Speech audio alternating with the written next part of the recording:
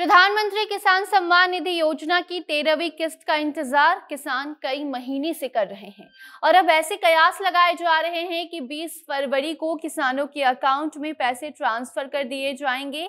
होली के पहले ये पैसे देने का ऐलान किया गया है। हालाँकि इन सब में जो सबसे बड़ा ऐलान किया गया है और जो सबसे ज़रूरी खबर आपको जानने की ज़रूरत है वो ये है कि ये किसानों को मदद पहुँचाने में अब डाकिया विभाग मदद करेगा। डाकिया विभाग अब किसानों तक सम्मान निधि योजना का लाभ पहुंचाएगा। साथ ही जिसका अकाउंट अभी तक नहीं बना है, उसका बैंक अकाउंट भी अब डाकिया ही बनवाएगा। क्या है पूरी खबर? और कब तक ये सारे पैसे जाएँगे? और किस तरीके से डाक विभाग अब किसानों को छह हज़ार तक का फ़ायदा पूरे साल में करवाएगा? सब कुछ आगे विस्तार से बताते हैं। अब नमस्कार, आप जनता जंक्शन देख रहे हैं और मैं आपके साथ वंदना पांडे।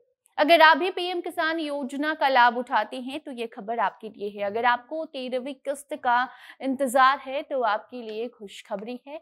पीएम किसान योजना की बारहवीं किस्त को जारी कर दिया गया उसके बाद अब बारी तेरहवीं किस्त की है, जिसके बारे में भी जानकारी अब साझा कर दी गई है और तभी से किसानों को बड़ी राहत भी मिली है। हर किस्त में आने वाले दो हज़ार रुपए को लेकर जो खबर सामने आई है, वो ये है कि तेरहवीं किस्त किसानों के अकाउंट में बीस फरवरी को भेज दिया जाएगा। होली के पहले किसानों के अकाउंट में ये पैसे ट्रांसफ़र कर देने की बात सामने आ रही है।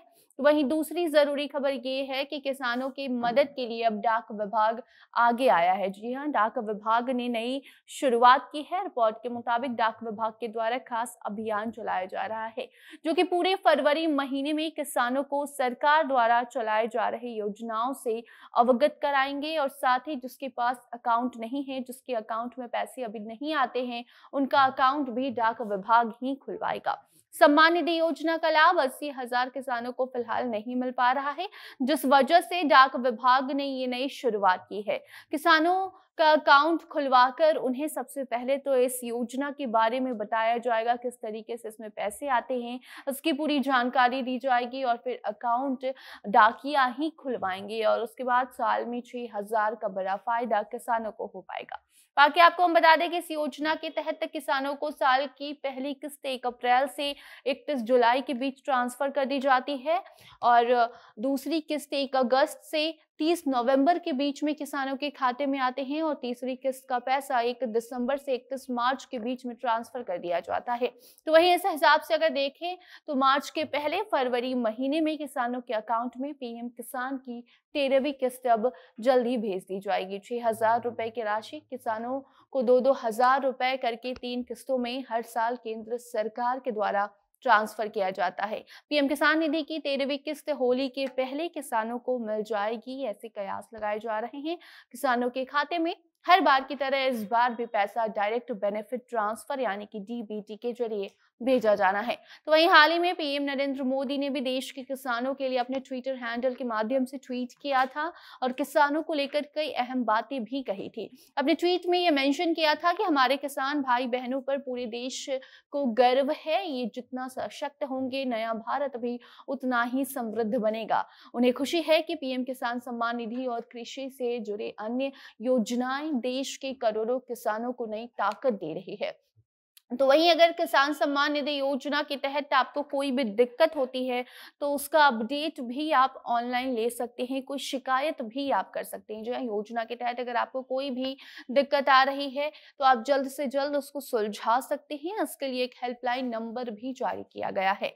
आपको एक पाँच पाँच दो छ एक या फिर एक आठ शून्य शून्य एक एक पाँच पाँच दो छ पर फ़ोन कर अपनी शिकायत दर्ज करवानी है। साथ ही आप उसका ऑफिशियल वेबसाइट पर जाकर भी रजिस्ट्रेशन या फिर जो भी शिकायत है वो कर सकते हैं। इतना ही नहीं, बल्कि ऑफिशियल वेबसाइट पर जाकर आप किस्तों का स्टेटस भी बड़ी आसानी से देख सकते हैं।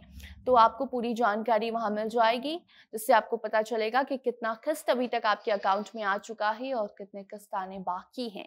बाकी से जुड़ी कोई नई अपडेट आती है तो आपको हम ज़रूर बताएँगे। फ़िलहाल खबर यही थी कि अब डाकिया देश भर के किसानों को जागरूक कर रहे हैं ताकि वो सरकार के द्वारा चलाई जा रही योजनाओं का लाभ उठा सके। उसका जो जिस उद्देश्य से सरकार योजनाएँ चलाती हैं, वो उद्देश्य उद्देश्य योजनाएँ, योजनाओं का उद्देश्य किसान समझ सके और जिनका अकाउंट नहीं खुला है, उनका अकाउंट भी डाक विभाग खुलवा रहा है। तो इससे जुड़ी कोई अन्य जानकारी आती है तो आप तक हम ज़रूर साझा करेंगे। तब तक आप वीडियो को शेयर कीजिए और अन्य खबरों के लिए बने रहें जनता जंक्शन के साथ। कैमरे के पीछे थे विशाल और मैं थी आपके साथ वंदना।